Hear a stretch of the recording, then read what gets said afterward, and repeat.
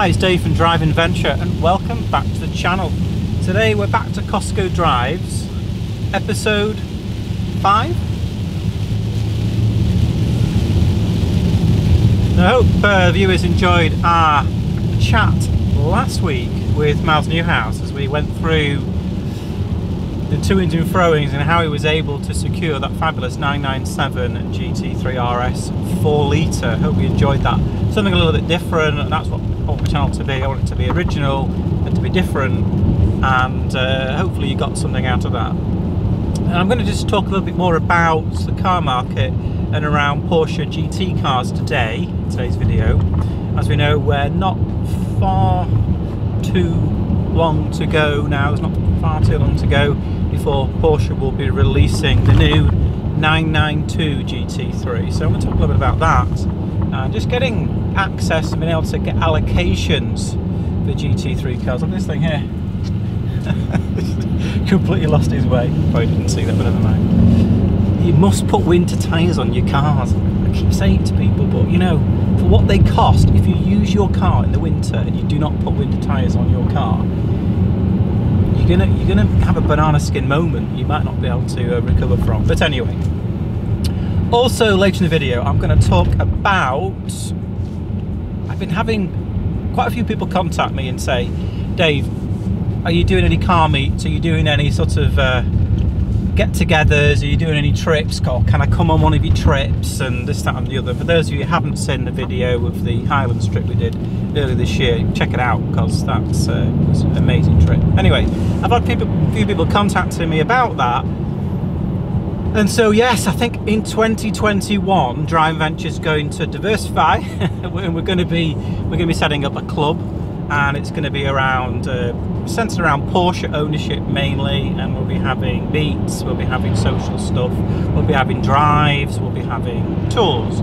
But I've just got to kind of formulate the thoughts around it a bit more clearly, how it's going to how it's going to go, you know how we're going to release it. I think we'll probably just use Facebook as a platform and WhatsApp as well, and things like that. I've got a website.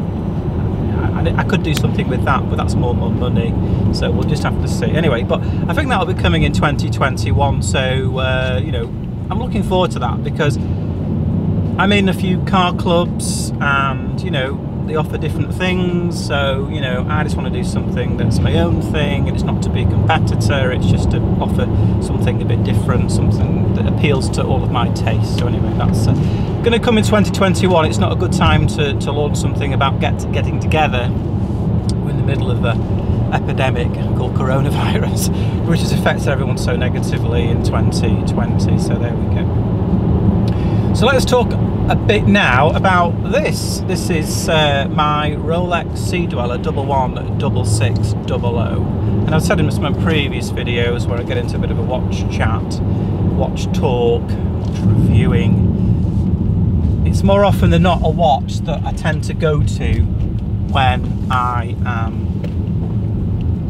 you know, wanting a watch that does everything. Um, this Sea Dweller came into my possession I think it was 2014. And yes, finally, we're going to talk about a watch I purchased from Whittles uh, Jewelers. So just going to turn this heater down slightly. Now, Rolex, as we know, you might have seen my little deep dive into the Rolex Sea Dweller 4000, the 16600 watch.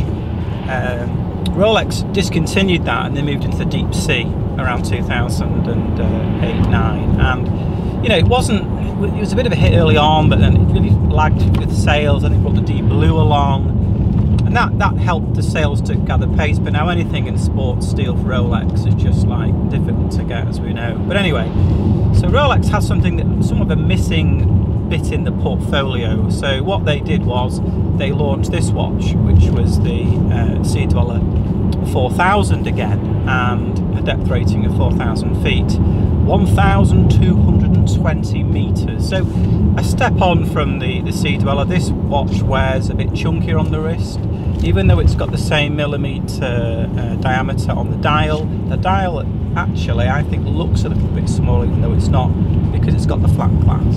So the bubble would interest me if my eyesight got so bad I just couldn't see the date without a magnification bubble, but I can. get away with it still. So anyway, I prefer a flat glass, if I'm honest. And so when this watch was launched, I called I called my dealer Whittles and Preston, and I said, "Yeah, I really would like one." And uh, I think it was the second watch they got. I remember seeing the first one they got that went to, to another customer, and I said, "This will be a big seller." Now, little did I know at the time that Rolex, perhaps at that time, hadn't planned on only making this watch for a period of just over two and a half years. It was it was gone before we knew it really. The watch was out, it was rel relatively popular, and then it was just completely discontinued. And they brought out the anniversary edition of the bubble on the glass with the red Sea Dweller writing. So it's got a wider bracelet, it's got the newer movement, and it's got uh, the bubble on the glass. So it's a watch I've thought about. But anyway, I know friends who have them and they are very, very, very nice. But anyway, so this watch now when it went into dis- when it was discontinued, it was a watch that sort of caught people by surprise because one thing about Rolex is if they only make a watch for a very short space of time, and obviously there's there's, there's far fewer of them in circulation, there's far fewer of them been purchased two and a half years versus a standard Submariner timeline. Look at the, the latest, uh, the, one that just been discontinued, the Ceramics Submariner. That was made for 10 years, so you can see there's going to be far more of those watches in circulation. Again, they were very, very popular versus say something like this. So values, this this watch cost me, I think it was about six and a half thousand pounds, something like that, and and they're now selling for over £12,000. So it's doubled in value since I purchased it in 2014. So, you know, not bad, not bad return in the uh, six, just six, six years or so that I've owned it. Um, so we'll get into a little bit more about this watch uh, when I get stationary further down the road. We're going to get some fuel and get the supplies. And in part two, I'm going to talk a bit more about the Panamera ST E hybrid. Or maybe maybe I'll talk about that now. Actually, yeah, talk about that. So, at 100 and sort of 405,000 pounds, options up to sort of 133,000 pounds. It's a car which is aimed obviously at people that are you know pretty well off because it's it's a, it's a big family cruiser with capacity, more capacity in the back in the Sports Turismo uh, line, and you know it's a car which handles well, drives extremely well, and for that kind of money, you would expect it to do that. And I think really it stands alone as a sort of a, the premium segment sports car for practicality. If you don't want to go into like SUVs, which personally I'm not, I'm not really. SUVs aren't my thing. I'll be quite honest with you. It's just, uh, you know, they handle well. It's probably the best one to get a Cayenne or a Macan if you're after an SUV type car. But you know, we'll be featuring one of those on channel before too long. So I think for a sort of a road car, not an SUV type type setup, I think that the um, yeah, it's a nice, it's a nice, um, it's a lovely car, crystal, crystal smooth, clear crystal smooth to drive, quiet, comfortable, and you can pump a lot of miles on that, you know, in that in that seat, and you know you're just not even going to feel it when you get to the end. It's really really good. So I certainly recommend if you're thinking about one, so go and have a drive of one because you compare that to say an E-Class or you compare it to a, a 5 Series Touring or you compare it to um, an Audi A6. Yeah, it's a lot more money, but it's a lot more car, you know, and it's extremely, uh, extremely exciting to drive. I'm just at the lights next to me here. I've got an Audi S3. I'm just wondering, is it going to want to race? No, we're not going to do race. We're not racing. Not today. And certainly not something I'd recommend you ever did. So let's talk a little bit more about GT car product allocation because you know it does upset people when it comes to Porsche that they can't get the cars that they want. You know, they love the brand. I had someone message me today and he was saying, yeah, would like to. I would like to GT4, but you know, I was told I couldn't have one. Then I went into my local dealer, and there's two used ones for sale, and there's hardly any miles on the clock. If you want a really, really difficult job, if you want a really, really, really just an impossible job, then become someone that has the decision on who allocates the GT cars to which customers because you know it must be very very hard. You've got 20 30 40 50 people.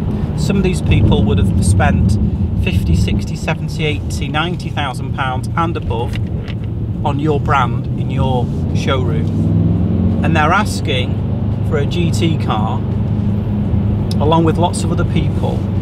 And you know how do they actually decide? Well obviously they're going to have to look after the customers that have spent reasonable amounts of money with them. And that has to be that has to be a consideration because that has to be a consideration because let's put the beans on slightly there. It has to be a consideration because at the end of the day if someone's buying the family car you know their work car and they're spending hundreds of thousands of pounds maybe you know millions of pounds over the years and they want to get a GT car then how would you go about not giving them one?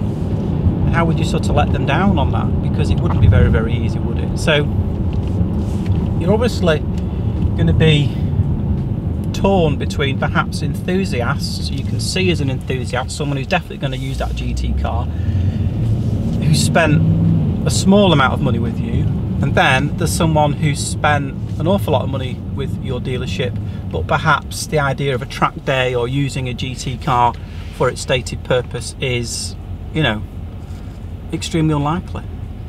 So I, I, think that's that's one of the, that's one of the dilemmas that, that dealers have when it comes to GT product because ultimately how are they going to look after them you know this car's got the beans when you want it to have the beans I don't think I don't think an S3 going to be able to compete with this car really in straight line? Probably not. So that's the dilemma that dealers have. How do we supply 10, 12, 15 cars to what we've got on a list of 50, 60 people? And you can whittle some off, they're out of area, they never bought anything from us, we've never met these people, then no chance. But if you've bought a car from them before, you've used that car as intended, you love the brand, you've got to know the people that work at you get to know the people that, that work there and you built a relationship with them then I think there are going to be slots available for people in that situation that don't necessarily spend the most amount of money and those are the people that you've got to uh, you've got to try and look after a little bit I think because ultimately it's not just going to be a case of who spent the most money with us. It's as simple as that. It's going to be about the relationship. It's going to be about will the car be used for its stated purpose. And the good thing about Porsche GT product now is now that we've seen the overs market, so people will buy a GT4. A guy was messaging me today about a GT4. You know, GT4s aren't for sale in the secondary market for 15 and 20,000 pounds more than the you know the retail price, the price that car was purchased for. Another thing you've got thing you've got to bear in mind when it comes to Porsche GT cars is that when a dealer's selling one, he's not selling it with a 1,000 pound margin in it because he's got his staff to pay. He's got he's got you know the company might have you know debt because it's expanded its practice or its building or it might, you know it's got the pensions to pay it's got the lights to put on the utilities to pay. And at the end of the day they're not going to be able to sell cars with, with nothing in them. So you're going to expect probably I would imagine £10,000 margin in a car. So if someone's bought one and then they've done a thousand miles in it, they go back to their centre and they say, oh, well, oh, I don't like it, it's, it's a bit too stiff, the suspension, or it's not my cup of tea. And then they say, well, will you buy it back off me because I don't, I don't think I like it so much as I thought I would. Then the dealer's not going to say, well, tell you what, we'll sell it, sell it for you and we'll put a thousand pound across the car and try, and try and deal on those terms. You can just forget it, they're not going to do it. So if they've bought it for £95,000 and it's for sale in the dealership at 96 or 97, the guy's lost money on that car. There's no doubt about it. He will not have made any money on that car at all. He's lost. And I think when you get losses starting to happen and people being offered their cars from a part exchange purchase or, a, or buyback point of view and they're losing six, seven, eight, nine, ten thousand pounds, maybe fifteen thousand pounds in some cases, and so on, then you don't come back again for that. So I think the people who perhaps circle the GT allocations hoping to get something, have it for six months, a year, flip it back, get you know 20 grand out of it extra, you know, happy days. I think those days are gone now. So I think you are going to be, are you going to have more of a chance of getting, in my view, a GT car in the years ahead, and that's where the 992 GT3 for me could be the car where you will actually have a chance of, uh, of getting an allocation. If you've been a customer of the centre and you've been in and they know you and um, you've used your car and you've been loyal to their to their centre, you've got more of a chance than perhaps you've had uh, in recent uh, recent times. There we go. So let's talk a little bit more about um, the Dweller 4000 then. Let's get on to this watch. So again, it has a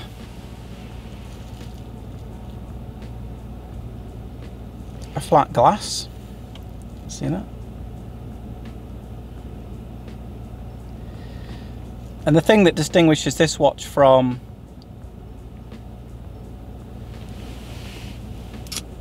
its predecessor is that it's got bigger plots in the, the actual dial. So the markers, the dots, got bigger. It's referred to as a maxi dial. Now, the maxi dial first was introduced in the uh, anniversary Submariner. Um, the green, they call it the Kermit. It's got the green bezel and the black dial. They introduced a maxi dial there, where it had bigger plots than than standard. So the plots in this have got what's called Chromalight in them. So they have a, a glowing um, property which glows for longer than than, than uh, superluminova does, and it, it, they glow like a lovely kind of bluey green colour. So uh, it's um, so that was something that, that, sort of came along with the, the, sort of newer generation watches. The other thing about the, the Sea Dweller is it has an extension clasp in it. So in the watch you open it up at the back and then it's got this thing here which just opens up like that. And that gives you the extra uh, diameter or extra size to get it over a wetsuit, things like that. Now, some people take them out of the sea dwellers, I don't, I leave mine in. Um, and the Glidelock at the back, that helps you to sort of set it up um, as you like it. And if you, as your wrist swells and gets a bit hot sometimes, it's nice just to just make that a little bit bigger. Um, the other thing about the ceramic bezel generation watches is that Rolex beefed up the bracelets and what they did was in the middle um, if you look at the older watches ones I've reviewed in the past the middle link is, is hollow, so the rivet went through or the screw went through, but the, the, the, the other bit of the link was sort of hollow, and that allowed it to have a bit more play in it. But what that allowed to happen was for kind of grime and bits and bobs to get inside there, and over years that acted as like a bit of sandpaper, and it was sort of get into the ends of the rivets, and it would make the braces a little bit loose. So when they beefed up the bracelet and they put um, a solid middle link in, then what that had the had, had the effect of doing is basically make him a lot more solid. Also, the watch became heavier, and uh, it was around that time Rolex totally started to motor uh, with their with their retail prices. The other thing about this watch, which is nice, is it has a 60-minute um, bezel. So the bezel um, is graduated to 60 it's a 60 minute bezel. And on a Submariner you normally get it uh, marked every minute to 15 and then there's nothing else. There's just then the, the 10s after that.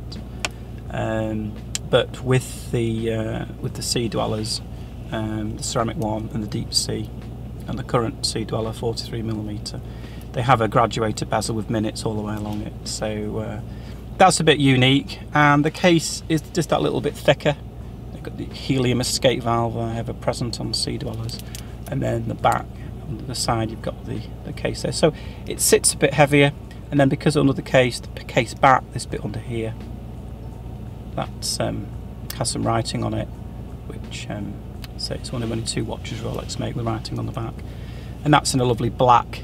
Um, it's kind of engraved, and the black's in there, so you've got uh, original escape valve, and then you've got Rolex Oyster Sea Dweller, and then the Rolex um, symbol.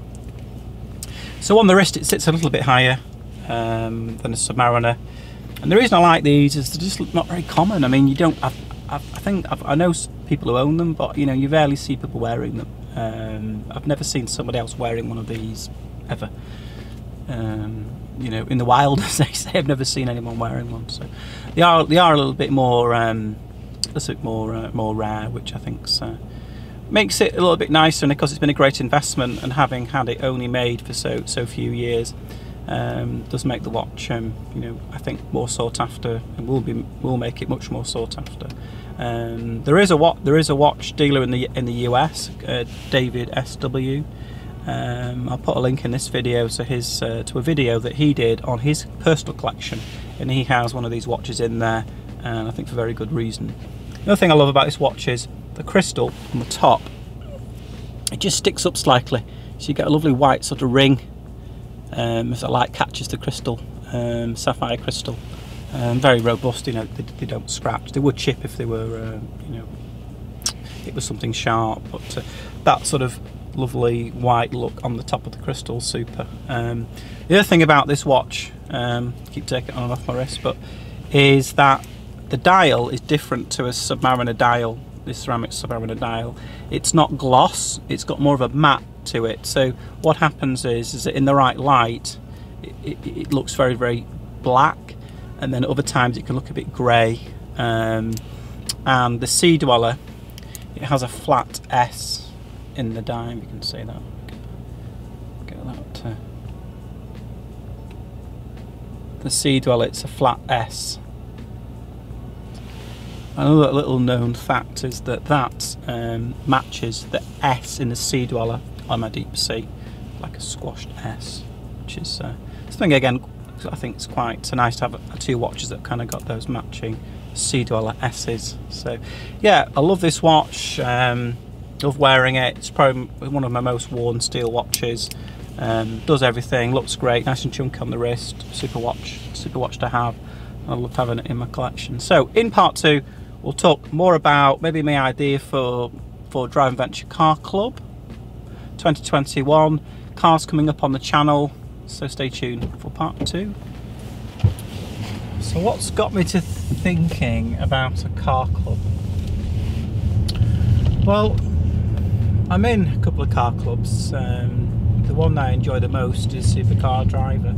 Um, that has a, criteria for people to join it. So, you know, if you've got a box standard Porsche car, like a GTS, 911, uh, you can't be a member.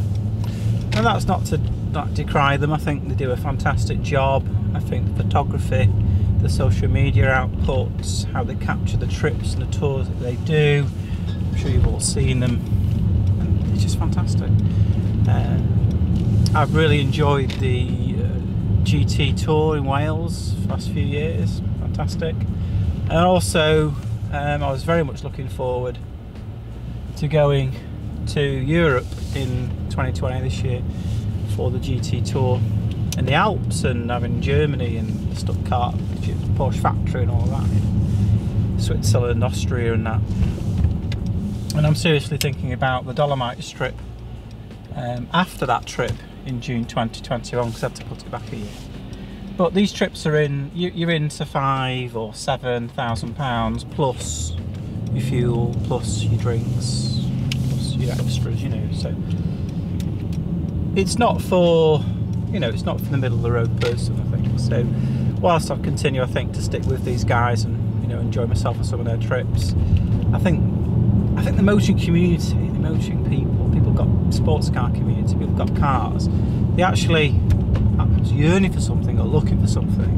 It's a bit more um, middle of the road uh, more affordable. Maybe does more drives, more meetups, and things like that, and social stuff. So that's got me to thinking that you know could Drive Venture move into that space and you know have a northern feel to it. Unfortunately, I don't think we're going to be driving down south and all that, which is a shame. But as it grows, maybe that, that could. Um, another car club I'm in is, as you can imagine, the Porsche Club GB. I've been active since 2016, and you know I think it's got some very good people in it. Um, it does put some good sort of classic static stuff on, like your Silverstone Classic, Kip Silverstone, and things like that, and Gold Cup and that. But I think it's just I don't know. It's not.